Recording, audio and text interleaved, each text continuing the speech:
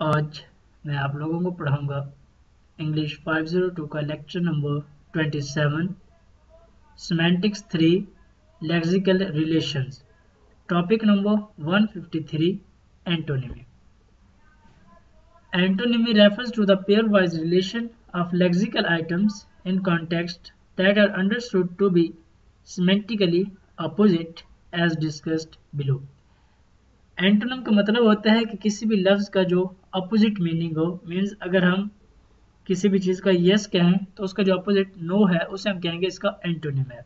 Semantically opposite meaning जो होते हैं, उन्हें हम कहते हैं एंटोनिम इनके स्ट्रक्चरल भी ये डिफरेंट होते हैं और ये मीनिंग के लिहाज से भी एक दूसरे से अपोजिट होते हैं।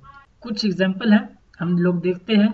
Alive dead big small fast slow happy sad hot, cold, long, short, male, female, married, single, old, new, rich, poor.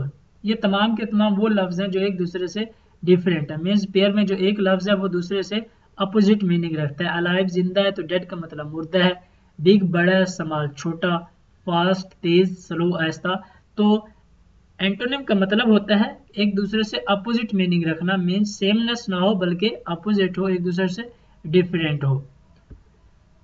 Two forms with opposite meaning are called antonyms कि जो हमारे पास दो फॉर्म्स हों, किसी भी लफ्ज की तो उसके जो अपोजिट मीनिंग होंगे, उन्हें हम कहेंगे एंटोनिम और जो सेम मीनिंग होंगे, उन्हें हम कहेंगे synonym two main types of antonym is gradable opposite along a scale mean जिसको हम कंपेरेटिव डिग्री में यूज़ कर सकते हैं। जिसको एक चीज़ को हम दूसरी चीज़ के साथ कंपेयर कर रहे हो, उसे हम कहेंगे ग्रेडेबल एंटोनिम और दूसरी हमारे पास नॉन ग्रेडेबल ये होती है डायरेक्ट अपोजिट इसमें हम किसी भी एक चीज़ को दूसरी चीज़ के साथ कंपेरेटिव नहीं करते कंपेयर नहीं करते, बल्कि ये एक बस डायरेक्ट अपोजिट होती है। Gradable antonyms are like the following pair big small अगर हम इसकी एग्ज़ाम्पल देखें I am bigger than you means कि मैं बड़ा हूँ आपसे। तो हम इसमें कंपेरेटिव डिग्री का इस्तेमाल कर रहे हैं।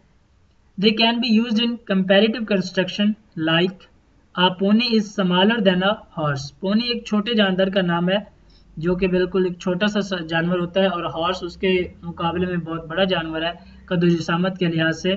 तो इसकी दो एग्जांपल्स हमारे सामने है कि इसको हम कंपेरेटिव डिग्री में यूज़ कर रहे हैं। I am bigger than you and a pony is smaller than a horse. The negative of one member of a gradable pair does not necessarily imply the other. Gradable जो हमारे पास type है एंटोनिमी की, इसमें जो negative thought होता है, उसका मतलब यह नहीं होता कि यह दूसरे लफ्ज के साथ इसी तरह वजात करे मीन्स के दूसरा जो सेंटेंस है वो बिल्कुल यही हो for example the sentence my car is not old does not necessarily mean my car is new अब पहला सेंटेंस है my car is not old means के जो मेरी कार है, वो पुरानी नहीं है। लेकिन अब इसका मतलब ये भी नहीं है कि मेरी कार न्यू है। हो सकता है वो दरमियानी हालत में हो। तो इसीलिए हम कहते हैं कि the negative of one member of a gradable pair does not necessarily employ the other अगर हम इसकी दूसरी टाइप को देखें non gradable antonyms also called the complementary pairs. In these comparative constructions are not normally used. इसमें जो comparative construction है, वो ज़्यादातर इस्तेमाल नहीं होती। Someone as deader means के कोई शख्स मर गया है। More dead than another, कि ये जो है एक दूसरे, उससे ज़्यादा मरा हुआ है। मीन्स किसी भी चीज़ की हालत को हम शो करने के लिए ऐसे लफ्ज़ यूज़ कर लेते हैं। The negative of one member of a non gradable pair does employ the other members लेकिन जो नॉन ग्रेडेबल में जो नेगेटिव थाट होता है हमारे पास वो दूसरा जो उसका मेंबर है, उस पर वो इम्प्लॉय करता है, उसकी वो वजात करता है my grandparents are not alive means कि जो माई ग्रैंड पेरेंट्स हैं, वो अब ज़िंदा नहीं है।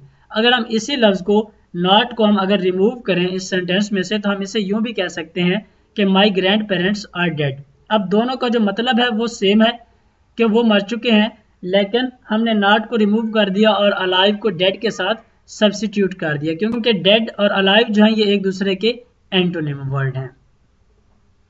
Other non gradable antonyms in the earlier list are the pairs हमारे पास कुछ और जो है नॉन ग्रेडेबल लिस्ट में जो एंटोनिम्स हैं, उनमें अगर हम देखें तो हमारे पास काफ़ी सारे वर्ड्स हैं, जिसके कुछ एग्जांपल्स हम यहाँ पर देखते हैं। मेल फीमेल ये अब नॉन ग्रेडेबल एंटोनिम्स की टाइप्स हैं। मैरिड सिंगल एंड ट्रू और फॉल्स वो usually avoid describing the one member of the antonymous pair as the negative of the other हम जो ज़्यादा तौर पर इस चीज़ से अवॉइड करते हैं कि जो हमारे पास एंटोनिमी का पेयर है उसका एक चीज़ को दूसरी चीज़ के साथ जब हम उसको कंपेयर कर तो उसमें नेगेटिव यूज़ करें।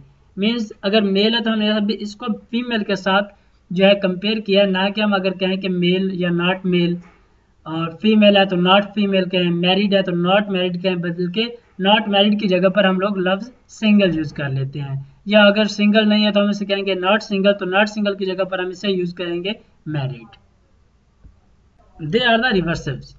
Undress can be treated as the opposite of dress. It does not mean not dress.